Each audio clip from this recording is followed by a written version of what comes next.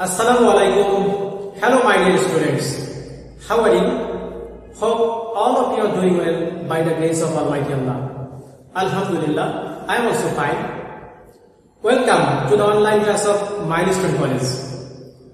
This is Mohsin Kobir, lecturer, Department of Biology, Milestone College, Uttora, Dhaka. My dear students, today I am here again with some new topics from Grasshopper, which is from chapter 2, Animals Identity. So, our today's topics are reproductive system of grasshopper, metamorphosis and role of hormones in metamorphosis of grasshopper. So after completing today's class, students will be able to learn some important questions like students will be able to explain the reproductive system of grasshopper will be able to learn what is diapause what is metamorphosis will be able to explain types of metamorphosis and explain the role of hormone in metamorphosis of grasshopper. So my dear students, I hope you will be benefited from today's class. So keep watching my video until it goes to an end. Let's start the main discussion. My dear students, before going to talk about the reproductive system of grasshopper, first of all you have to know something about the reproduction. So what is reproduction? Reproduction, the word reproduction means to reproduce. It is a biological process by which an organism reproduces an offspring which is biologically similar to the organism. Reproduction enables and ensures the continuity of species generation after generation. It is the main feature of life on earth. As you know, grasshopper is unisexual animals. So sexual dimorphism is obviously found in grasshopper and the male and female animals are distinguished with their different characteristics and the male and female reproductive systems are basically situated in different sex.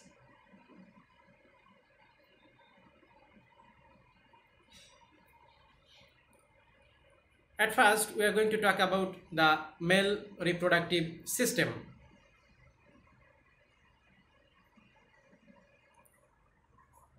You can see the male reproductive system of grasshopper are consist of a pair of testes, vasa deferentia and ejaculatory duct, accessory glands and seminal vesicles.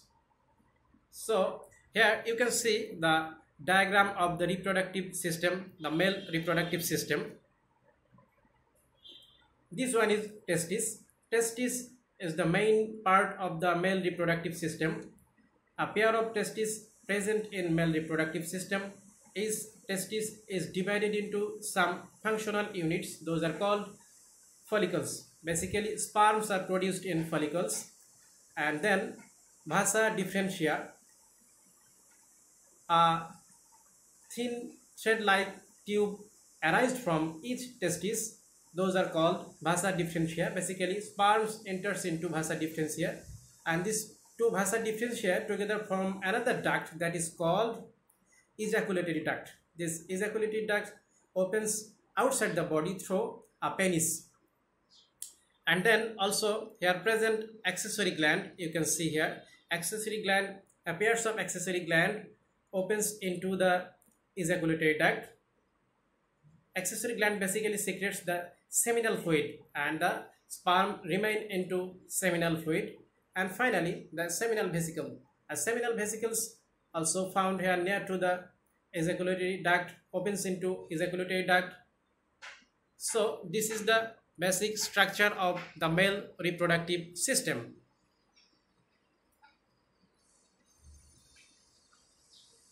Next one is female reproductive system.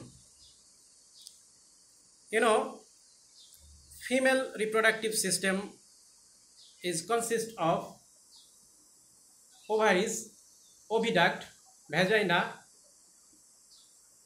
spermatheca and accessory gland. You can see here the diagram of female reproductive system. A pair of ovary present in every reproductive system. So this is the main part. Ovary is the main part of the female reproductive system. Is ovary divided into some subdivisions of functional units those are called ovarioles you can see here all the ovarioles together form a lateral duct in both sides that is called oviduct. And the oviduct two lateral oviduct together form another muscular tube that is called vagina. Vagina opens outside the body through a genital pore or ovipositor. And here also present an accessory gland a pair of accessory gland opens into the vagina through a tube. Accessory gland just secrete the lubricants for the reproductive system. And here you can see the spermatheca. Spermatheca is, it is one type of coil like uh, structure or tube. Here sperm are usually stored temporarily temporarily after the copulation. So this is the structure of female reproductive system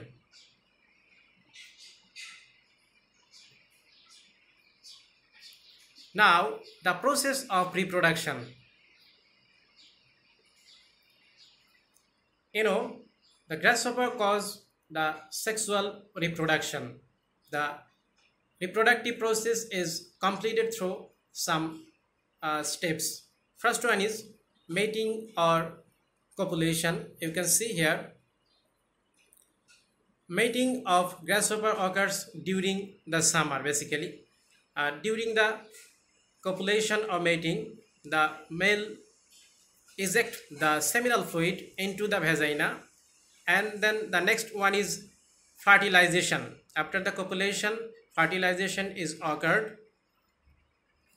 You can see fertilization is occurred through the union of sperm and the eggs nucleus.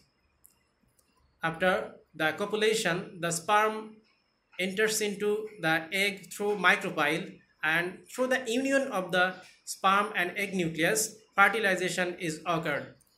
And then oviposition you can see here oviposition egg line of female grasshopper after copulation or mating is called oviposition during oviposition female grasshopper form a tunnel or short hole by using its ovipositor for laying egg or deposit its egg.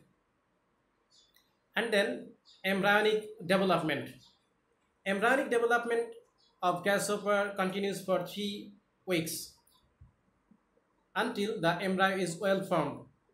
And then the embryonic development is stopped in winter during the adverse condition this is called diapause remember this one is important knowledge based question what is diapause so the embryonic development of uh, grasshopper is stopped in winter during adverse condition. This phenomenon is known as diapause. So these are the basic reproduction process of grasshopper.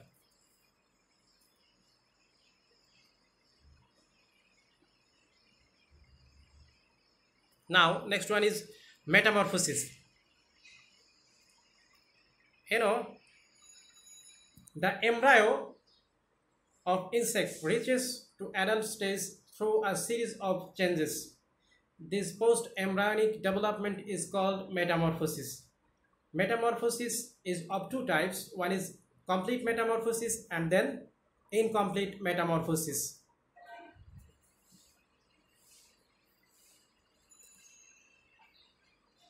First one is complete metamorphosis. It is a type of metamorphosis in which an insect passes through distinct egg, larval, pupal and adult stages and the larva doesn't resemble the adult. It is also called as holometabolism This in com complete metamorphosis is also known as holometabolism. This type of metabolism metamorphosis found in fly, bee, butterfly, etc. Next one is incomplete metamorphosis.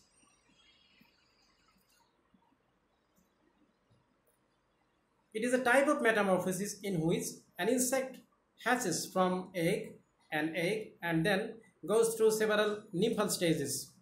Each nymphal stages looks like small version of adult. So it is also called as hemimetabolism. This type of metamorphosis is basically found in grasshopper, cockroach and cricket.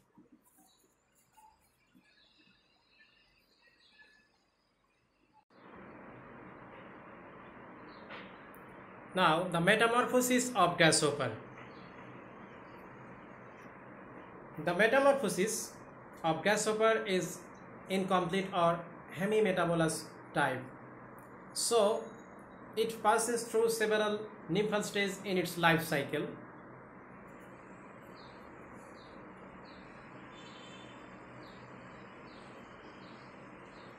You can see here the metamorphosis process of grasshopper or the life cycle of grasshopper. You can see in this diagram a grasshopper after hatching from an eggs. A child grasshopper passes through a several nymphal stages you can see to reaches the adult stage here. A five nymphal stage passes to reach the adult stage. And here also uh, in every stage in every nymph stage nymphal stage the grasshopper left its cutinous exoskeleton or shell. This process is called molting in between the stage of two molting this is known as instar so the phase in between two molting is called instar so through this process a nymph or child grasshopper reaches to the adult stage through this several nymphal stages.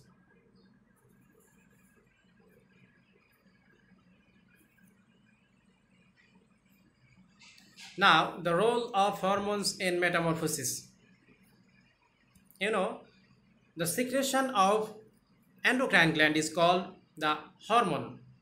There are four types of endocrine gland found in grasshopper's body. Number one, intercerebral gland cell, then prothoracic glands, corpora alata, and then corpora cardiaca.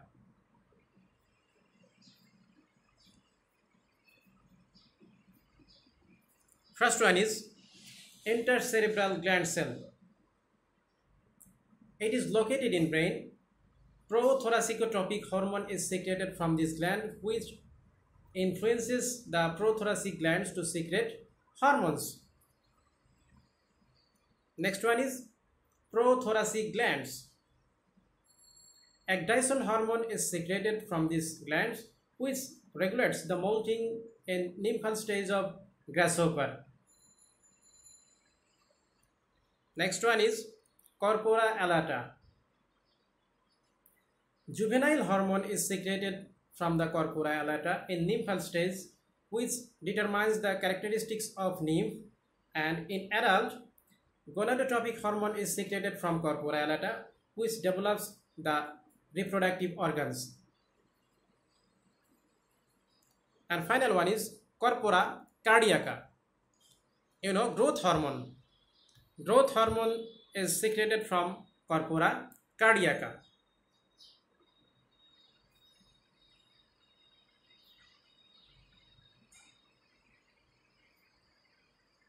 So my dear students, these are the basic topics that I discussed in our today's class. I hope all the topics all of you understood clearly and some homeworks for you from today's discussion. Differences between incomplete and complete metamorphosis. Please write down the differences and submit this homework to your respective SW group or your to your respective subject teacher. And my dear students, if you have any questions or queries regarding today's lesson, please ask your subject teacher.